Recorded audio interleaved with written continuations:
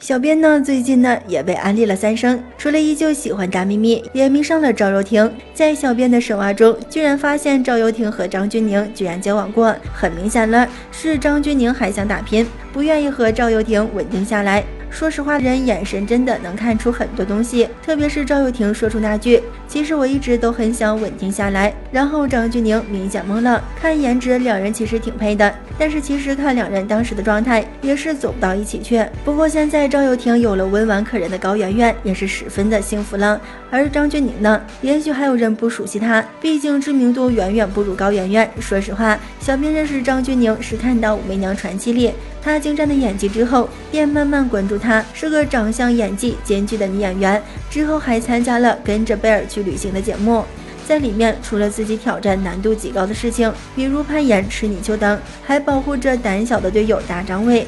人很好，也不做作，这样的女孩很受欢迎，现在也很幸福。现任男友是圈外人。一个普通 IT 男，但是这段恋情却很稳定，经常有人拍到二人携手同游，低调而平时。最后，小编突然想到一句话：其实最初的，最让你觉得般配的，也许不是对的人，而最后与你相伴的，必是你温柔以待的。